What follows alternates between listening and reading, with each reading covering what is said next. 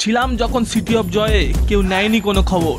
এখন আমি city of ড্রিমসে তাই শুরু করছি মুম্বাই সফর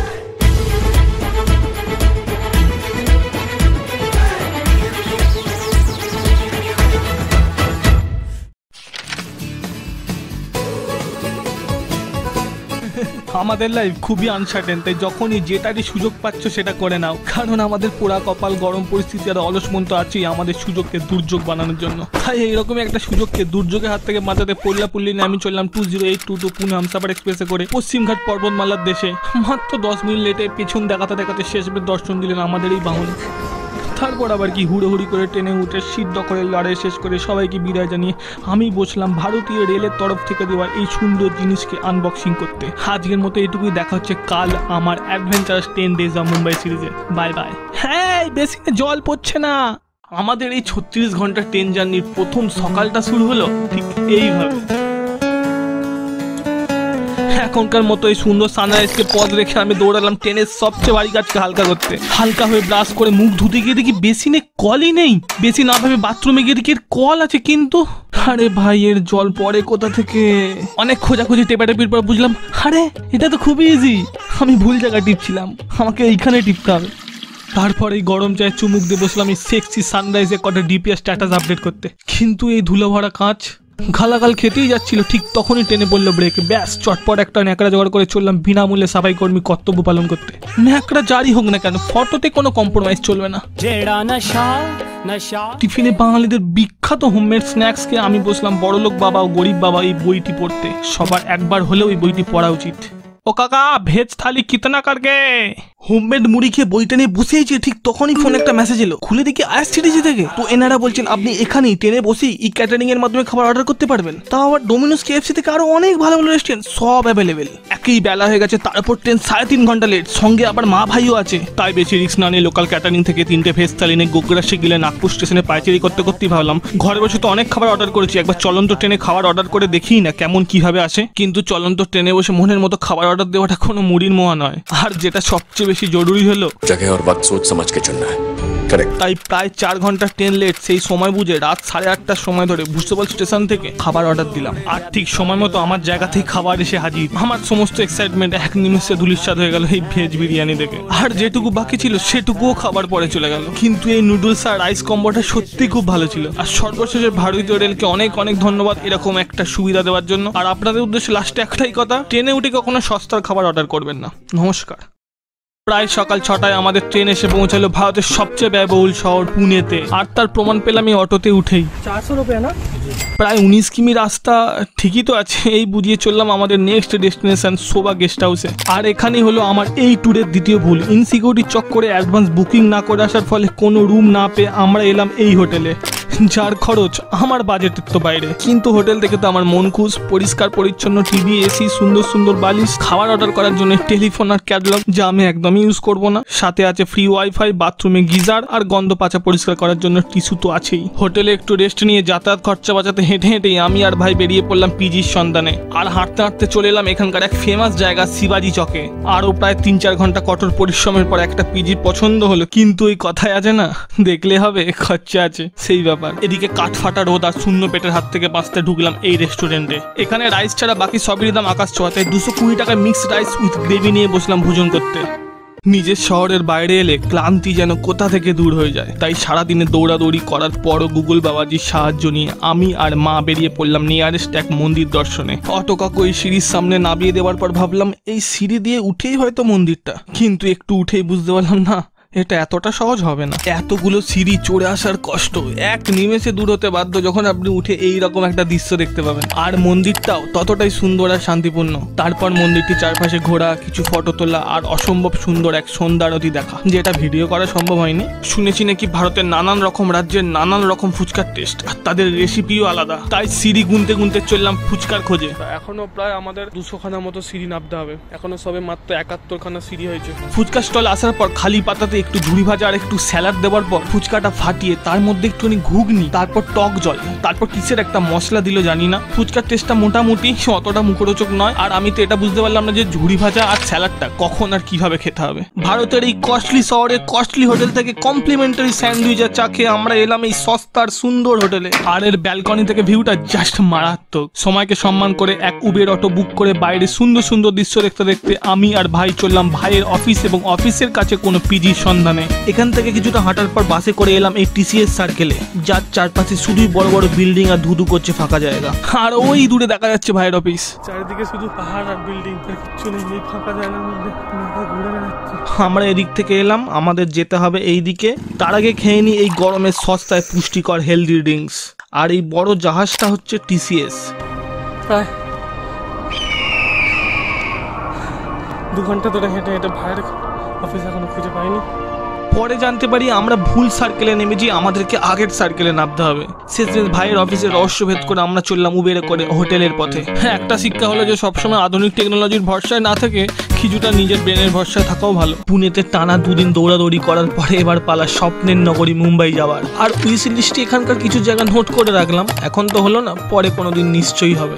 ভাইকে রেখে মা আর আমি চললাম মুম্বাইয়ের পথে। আর এই ট্রেনে যত না যাত্রী উঠল, তার বেশি তো হকার। উইন্ডো সিটে বসে চক্ষু শান্ত করতে বসেছি।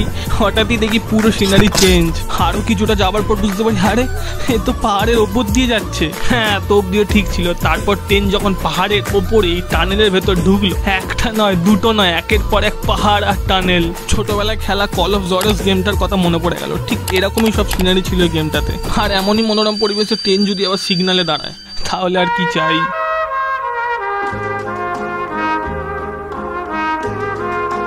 প্রায় সাড়ে তিন ঘণ্টা জার্নি করে পৌঁছলাম কল্যাণ, আমার এক মামার বাড়ি। আর সন্ধেবেলা মা, আমি আর বোন বেরিয়েছিলাম এখানকার লোকাল একটু ঘুরতে। আর খেলাম এই নুডলস ফ্র্যাঙ্কি, বাঙালিরা যেটাকে বলে চাউমিন রোল। আজ আমি সুদূর পূর্ব থেকে পশ্চিমে। মাঝে দুদিন পুনেতে কিছু দরকারি কাজ মিটিয়ে এখন আমি মহারাষ্ট্রের এই শহর কল্যাণে। বাকি দিনগুলো এখানে থেকেই এক্সপ্লোর করব এই স্বপ্নের নগরীকে। কল্যাণ থেকে ট্রেনে করে প্রথম এলাম ব্যান্ডা তারপর এখান থেকে অটো করে রওনা দিলাম ব্যান্ডা ফোর্টের উদ্দেশ্যে। আর একটু যেতেই এরকম সুন্দর দৃশ্য দেখে ঠিক করলাম এই সুন্দর সিনারিকে সঙ্গে নিয়ে সমুদ্রের ফুরফুরে হাওয়া খেতে খেতে বাকি পথটা হেঁটে হেঁটেই যাব। কিন্তু এই কড়া রোদ্দা আউট অফ সিলেবাস চলে এলো, তাই এটাকে রিকভার করতে দেখা পেলাম শাহরুখের বাংলো মান্নাতের। আর এখানেই দাঁড়িয়ে কিং খান ভক্তদের জন্য হাতে নাড়ান। মান্নার থেকে মাত্র তিন মিনিট হেঁটে এলাম ব্যান্ডা ফুটে, আর ভিতরে ঢুকতেই এক অসাধারণ ভিউ আর এটা কোনো ফোর্ট না, ষোলোশো চল্লিশ সালে পর্তুগিজরা নজরদারির জন্য অ্যাজ আ ওয়াশ টাওয়ার বানিয়েছিল। সময়ের চক্রে ভাঙতে ভাঙতে এটা এখন ব্যান্ডা ফোর্ট নামে পর্যটন কেন্দ্র হিসেবে পরিচিত। আর এই অপূর্ব দৃশ্য, এটা আপনাদের সবাইরই চেনা। এটা হলো ব্যান্ডা ওয়ালি শিলিং ব্রিজ সত্যি বলতে কি, যে দৃশ্য এতদিন আপনি শুধু মুভিতেই দেখে এসেছেন, সেটা নিজের চোখের সামনে দেখার আনন্দই আলাদা। আর এর ফুল ভিডিও অলরেডি চ্যানেলে আপলোড করা আছে, আপনারা সেটা চেক আউট করতে পারেন। প্রায় চারশো বছরের পুরনো ফোর্ট দেখে চিপস আর কোল্ড ড্রিঙ্কস খেতে খেতে আমরা এলাম ব্যান্ডা স্টেশনে তারপর এখান থেকে ট্রেনে করে এলাম চার্নি রোড আর এই ডে সিক্স এর একটা বড় ভিডিও অলরেডি চ্যানেল আপলোড করা আছে। আপনারা সেটা চেক আউট করতে পারেন। যাই হোক পরন্ত বিকেলে ট্যাক্সি করে এলাম এই সুন্দর মন্দিরে। এটা হলো মুম্বাইয়ের ইস্কন মন্দির। এরকম এত বড় শহরের মাঝেও এরকম একটা মন্দির থাকবে এটা এক্সপেক্ট করিনি। আর আমার ভাগ্যটা এতটাই ভালো যে ঠিক সন্ধ্যা আরতির আগে আমি ঢুকেছি। তাই সন্ধ্যা আরতি আর কিছুটা সময় স্পেন্ড করে আমরা এলাম এখানে। এটা হচ্ছে চপাট্টি বিচ রাতে এখানে দেখার মতো সেরকম কিছু নেই। দিনই এলে হয়তো জায়গাটা আরও বেশি সুন্দর লাগতো। কিন্তু সমুদ্রেরই একদম ধারটায় সে বেশ ভালোই লাগছে। বেশ হালকা একটু ফুরফুরে হাওয়া আর এই মনোরম দৃশ্য। এখানে বসে দিব্যি কিছুটা সময় কাটিয়ে দেওয়া যায়। আর যেটা আমাদের হাতে একদমই নেই। তাই চটপট ট্যাক্সি করে এলাম ভারতের প্রথম রেলওয়ে স্টেশন ছত্রপতি শিবাজি মহারাজ টার্মিনাস। আর এখানে এসে দেখি কল্যাণ যাওয়ার নেক্সট ট্রেন পঁয়ত্রিশ মিনিট পর। তাই এই ক্ষুধার্ত পেটকে শান্ত করতে আমরা এলাম সামনের এক স্ট্রিট ফুড কর্নারে আর খেলাম মশলাদার শেজওয়ান রাইস আর নুডলস সিনেমা দেখতে হলে যাও হলে, সাঁতার কাটতে হলে এসো জলে। কিন্তু আজ আমরা শুধুই খাব। তাই এসেছি সামনেরই এক মলে এই মলটা সামনে থেকে যতটাই ছোট লাগছে, ভিতরটা তো দেখছি ততটাই বড়। তাই ঠিক করলাম ঘুরতে ঘুরতে স্টপেজ নেব একদম ফুড কোর্টে গিয়েই। দীর্ঘ লাইনে দাঁড়িয়ে নিজেকে পাখিদের রাজা মনে করে ঢুকলাম এইখানে। ভিতরে ঢুকে দেখি ছোট থেকে বড়, সবার জন্য নানান অ্যাক্টিভিটিস ভিআর গেম বাস্কেটবল আরও অনেক কিছু। আর এই সব দেখে নিজের ভেতরে বাচ্চাটা বেরিয়ে এলো। তাই গেলাম কেমন কি ক্রাইটেরিয়া কত খরচা জানতে। যা শুনে ঠিক করলাম, এখনকার মতো তো থাক আপাতত দেখেই কাজ মেটাই। এই কাকু তো দেখছি অফিসের সব রাগ এখানেই বার করছে। আর এইসব গেম যে একসময় কত খেলেছি শুধুই গাড়ির চালক আমার হাত আর কিবোর্ডের সুইচ ছিল। আর বেস্ট কাপেল গোল তো এখানেই চলছে। এখান থেকে বেরিয়ে ফুড কোর্টে গিয়ে ভাবলাম মুম্বাইয়ের কিছু স্পেশাল ডিশ ট্রাই করা যাক যা এখানে কোথাও পেলাম না। কোনটা খাওয়া যায় এটা? না এটা। এটা দেখো আট পিস দেবে এটা বারো পিস দেবে। বারো পিস দিলে সবার হয়ে যাবে আর তিনটে তিনটে করেই থাকবে। তাই এখনকার মতো এই ছোট্ট পিজা খেয়ে এলাম এই স্টলের চিকেন শোরমা খেতে যা এক কথা জাস্ট ফাটাফাটি ছিল। আজ আমি এমন এক শহরে যাচ্ছি যেটা কখনো তো শোয় না, কিন্তু এটাকে স্বপ্নের শহর বলা যার লোকাল ট্রেন হলো লাইফ লাইন আর বিচ সাইড হলো গেট অফ ওয়ে কত লোক এখানে স্বপ্ন নিয়ে আসে যে কখনো তো তার স্বপ্ন পূরণ হবে। আমার সেরকম কোনো স্বপ্ন নেই, শুধু একটাই ইচ্ছা, এই শহরে এনার্জি ফাইভটাকে ফিল করা। তাই আমি প্রায় দেড় ঘণ্টা ট্রেন জার্নি করে এলাম সিএসটি ছত্রপতি শিবাজি মহারাজ টার্মিনাস। তাকে অনেকে ভিটি বলেও ডাকে। ব্রিটিশ রাজে যার নাম ছিল ভিক্টোরিয়া টার্মিনাস। আজ আমি একাই আছি, তাই ঠিক করলাম এই শহরটাকে পায়ে হেঁটেই এক্সপ্লোর করব। আর আপনি যদি কোনো জায়গাটাকে ফিল করতে চান, পায়ে হাঁটার থেকে ভালো বিকল্প আর হয় না। তাই এখানে কিছু ফটো তুলে গুগল ম্যাপের সাহায্য নিয়ে আমি হাঁটা লাগালাম গেট অফ ইন্ডিয়ার দিকে। প্রায় আধা ঘণ্টা ধরে মুম্বাইয়ের পুরনো historical building church public playground দেখতে দেখতে এলাম গেট অফ ইন্ডিয়া এখানে এসে ভিতরে ঢোকার লাইন থেকে আমার চক্ষু চড়ক গাছ। আমার আরও সকালে বেরোনো উচিত ছিল। কখন ঢুকতে পারব জানি না। তাও ধৈর্যকে সঙ্গে নিয়ে আরও কুড়ি মিনিট পর শেষ মেশ ঢুকলাম গেট অফ ইন্ডিয়া দেখা হচ্ছে নেক্সট পার্টে গেটওয়ে অফ ইন্ডিয়া, বাংলায় যাকে ভারতের প্রবেশদ্বারও বলা হয়, রাজার আগমন থেকে ব্রিটিশদের প্রস্থান, সবকিছুরই সাক্ষী এই গেটওয়ে অফ ইন্ডিয়া। আর আমার সবার প্রথমে এখানে আসার একটাই উদ্দেশ্য এলিফ্যান্ট আইসল্যান্ড যার লঞ্চটি গেট অফ ইন্ডিয়ার পিছন থেকেই ছাড়ে। তাই বেশি সময় নষ্ট না করে তাড়াতাড়ি গেট অফ ইন্ডিয়া ঘুরে কিছু ফটো আর মাত্রই কুড়ি টাকা টেলিস্কোপের মজা নিয়ে গেলাম টিকিট কাটতে। আর গিয়ে শুনি সিঙ্গেলদের টিকিট দেওয়া হয় না। এই প্রথম সিঙ্গেল হওয়ার ডিসঅ্যাডভান্টেজ পেলাম। যাই হোক, এবার এই সিঙ্গেলকে মিঙ্গেল করতেই হবে। আর একটু খোঁজার পরে এমন দুজনকে পেয়েও গেলাম। কিন্তু দুর্ভাগ্যবশত গিয়ে শুনি টিকিট দেওয়া বন্ধ। এলিফ্যান্টটা যাওয়ার টিকিট দুপুর তিনটে অবধি দেওয়া হয়। যাক, কি আর করা যাবে? এখন নয়তো অন্য কোনো সময়। কিন্তু একটা শিক্ষা হলো, কোথাও যাওয়ার আগে সঠিক প্ল্যান আর প্রপার রিসার্চ করে আসাটা খুবই জরুরি। এখনকার মতো সুন্দর ইমারতের সামনে কিছুটা সময় কাটিয়ে নুডলস ফ্র্যাঙ্কি খেতে খেতে এলাম মারিন ড্রাইভ আর জায়গা সম্বন্ধে কি বা বলি? এখানকার ভাইভই আলাদা, যেন এক আলাদাই এনার্জি কাজ করছে। এই ঢেউয়ের আওয়াজ হালকা ফুরফুরে হাওয়া আর এই সানসেট আর কি চাই? মুম্বাইয়ের কিছু দিনের স্মৃতি আর মূল্যবান কিছু এক্সপিরিয়েন্সকে সঙ্গে নিয়ে এবার পালা ঘরে ফেরার। আর এই পাঁচ দিন মুম্বাই থেকেও মুম্বাইয়ের ফেমাস বাড়া পাও ট্রাই করা হলো না। আর আমার এই আফসোস মামার কানে যেতেই ট্রেনের মধ্যেই আমাদের জন্য বাড়া পাও নিয়ে হাজির।